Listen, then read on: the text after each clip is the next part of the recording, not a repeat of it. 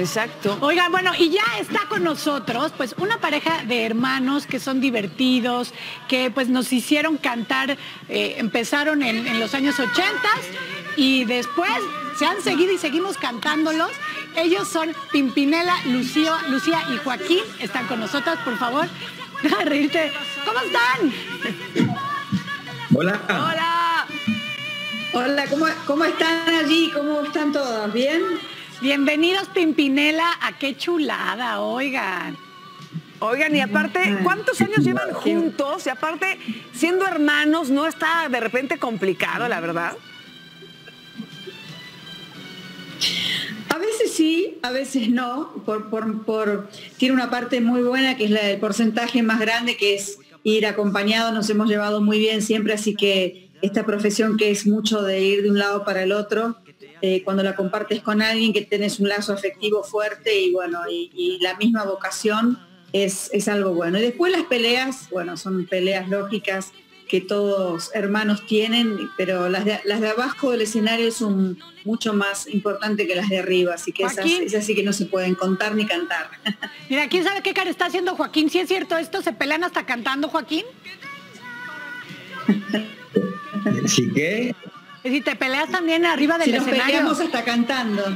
Se las... Sí, sí, sí nos, nos, peleamos cantando y, nos, y, nos, y discutimos como hermanos sin, sin música, discutimos sin música, este, pero bueno, pero yo creo que es lo que dice Lucía, es, es una ventaja grande ser hermanos, estamos cumpliendo ya el año que viene, imagínate, cuatro décadas desde que empezamos, empezamos muy chicos, muy jóvenes, pero si, si no fuéramos hermanos ya no estaríamos cantando juntos, seguro.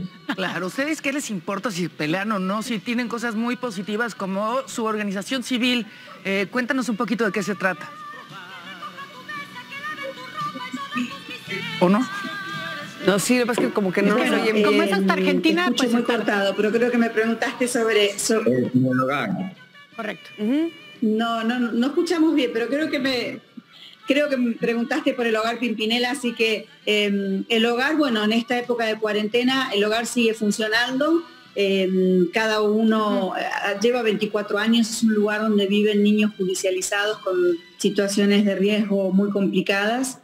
Eh, pero bueno, viven en el hogar, es una casa que, ten, que hay aquí en Buenos Aires.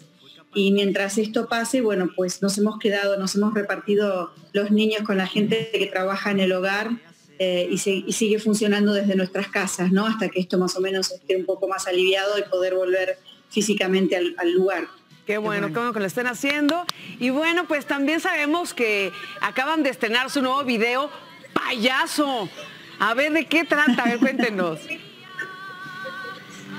Bueno, Payaso es, es la saga de, un, de unos videos que estamos haciendo que hemos filmado antes de la cuarentena, allí en, en enero y febrero. El primero se llamó Traición, donde participaron dos actores argentinos, eh, Gabriel Corrado y Karina Zampini, estupendos realmente. Eh, una historia de amor inclusivo, de amor entre una pareja de hombres.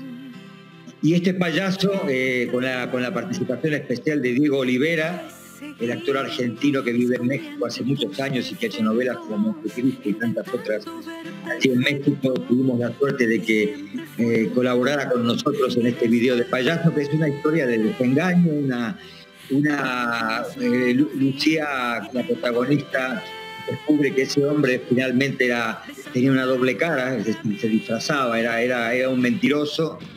Y yo simplemente en el video hago del compositor que compone la canción y va reflejando en imágenes lo que siente y lo que piensa a la hora de componer, ¿no? Qué bárbaros, qué voces que, tienen. Sí. Los estamos viendo, qué rico siempre es escucharlos. Oigan, ¿y qué va a suceder con su concierto de aniversario que tuvieron que posponer? ¿Cuándo? ¿Qué van a hacer? Bueno, sí, ya. los conciertos que, que teníamos las fechas para ahora, para octubre, que han pasado para junio del año que viene, junio del 2021. El 24 de junio vamos a estar en Mérida, en la isla. El 25 de junio vamos a estar en Guadalajara, en el Telmex, y el 26 de junio en el Auditorio Nacional con este concierto de- del aniversario. Y los que ya hayan tenido la entrada, los que tengan la entrada, les sirve perfectamente. Así que con esa misma entrada Ah, van a poder entrar a los conciertos. Marta, vas a poder entrar, porque Marta se la pasa cantando sus canciones aquí en el programa. Con una enjundia. tengo una favorita que, que también es la de la mayoría de la gente y, y no sé si se pueda, se puede muchachos, que me canten un cachito, aunque sea de a esa. A ver, Sí, a ver, la a ver, canto yo sola porque, Sí, porque si no con el delay es difícil. Ándale. A ver. Venga, Que venga. venga, yo le doy mi lugar, que recoja tu mesa, que lave tu ropa y todas tus miserias. Que ¡Ay! venga, que se juegue por ¿Qué ti. Quiero ver si es capaz de darte las cosas que yo te di. A esa, a esa, a esa, vete y dile tú que venga. ¡Bravo! Miren, me pongo chinita. ¡Qué maravilla! Canción. Oigan, muchas, muchas gracias. Los queremos. Gracias por tanta música y esperamos que vengan pronto y acompañarlos en su concierto. Muchas gracias. A ustedes, mucha suerte en el programa. Chao, Chao. chicos. Gracias. Gracias. No.